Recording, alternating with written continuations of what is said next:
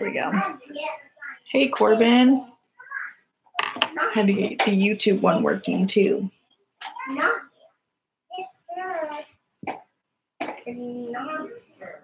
How we doing? Mhm. Give it a couple more minutes, see if anyone else jumps on. I got on a minute early, so we'll see. How are you, Corbin?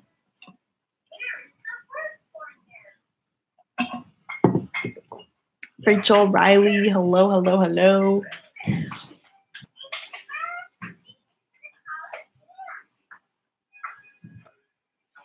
Good. Erica, Erica, I hope you didn't go outside today because it's snowing. Crazy. Crazy that it's snowing. How are we doing today, guys? Riley. Riley, I couldn't believe your comment on Gabby's daily minute. I feel like I should just make mine an hour just to rub it in your nose. You went outside to get the milk. It's so, so snowy. Hello, Aiden. How are you, Aiden? How you doing?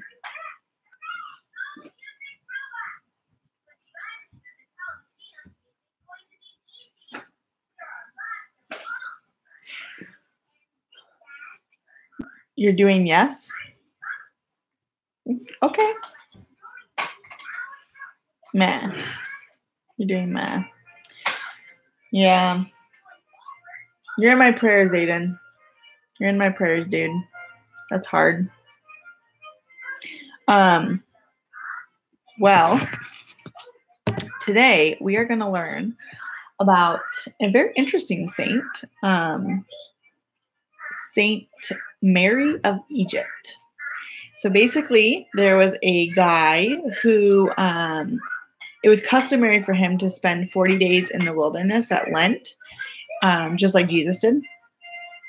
And um, he was hoping that he would like encounter like a uh, desert hermit or so- someone else on his travels.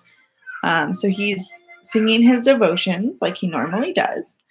And he gets a glimpse of like a strange figure in the distance, and he immediately assumes and thinks um, that it's the devil, right? So um, he he makes the sign of the cross, and he like goes to get this figure, right? He goes to get the devil. That's who he thinks he's running into.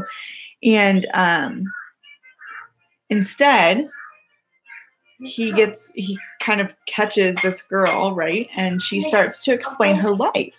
So- One second, bud. Ask daddy. So, um, So she runs away from home at age 12 and um becomes a prostitute. Okay. And she says it's not because of the money. She wasn't doing it because she needed the money. She just had this like desire that she couldn't fill um, and this passion for just living in filth, right?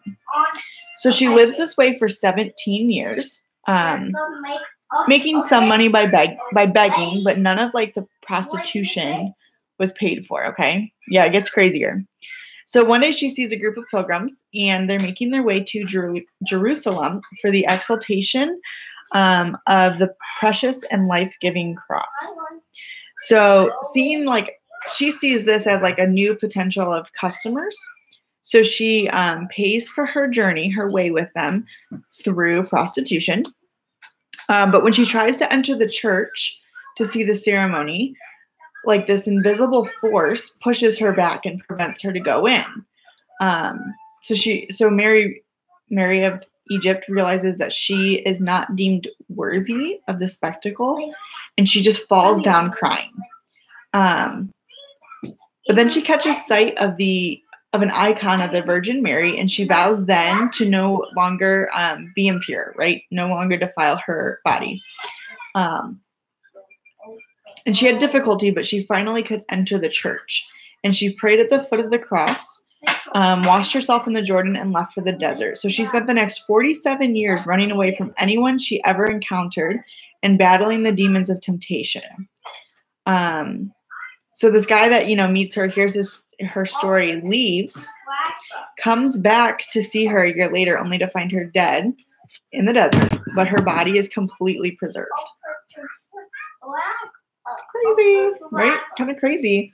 Um, and to me, it just is that reminder again, like many of our saints, that God takes imperfect people and only He can make them perfect, right? Like only He can perfect what they're going through um, and how they're feeling. So He takes something broken and He puts it back together. And when He puts it back together, it's more beautiful than it ever could have been by itself. Um, so let's pray. Hopefully that was short enough, Riley. Let's pray. In the name of the Father, Son, Holy Spirit. Amen. Lord God, thank you for the example of Mary of Egypt.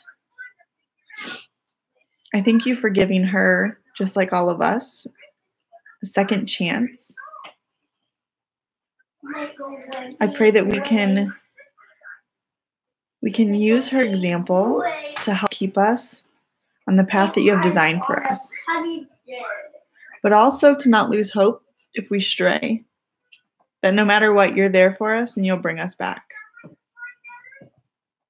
So during these next few days, I just pray that we lean on you, Lord. That if we're starting to stray, if we're starting to worry, if we are giving into our fears, that we can just trust and lean on you. That we can build that trust and have peace during this time of quarantine. Amen. Awesome. Awesome. St. Mary of Egypt. Um,